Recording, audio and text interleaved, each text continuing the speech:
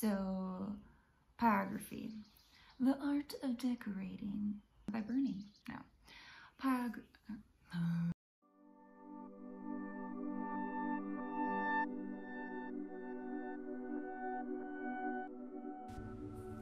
Wood burning has become my favorite form of medium.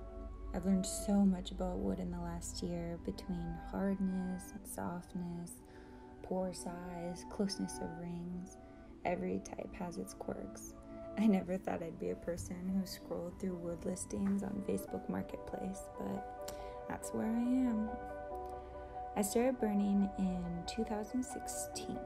My friend had asked me if I'd ever tried it after she saw how much I love to draw. I knew my mom had one in the garage, so I borrowed it and I never gave it back.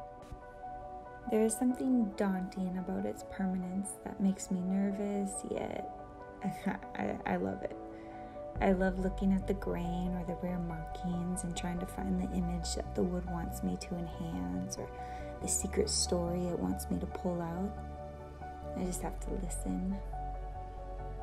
The process goes pretty fast once I know what I'm trying to do.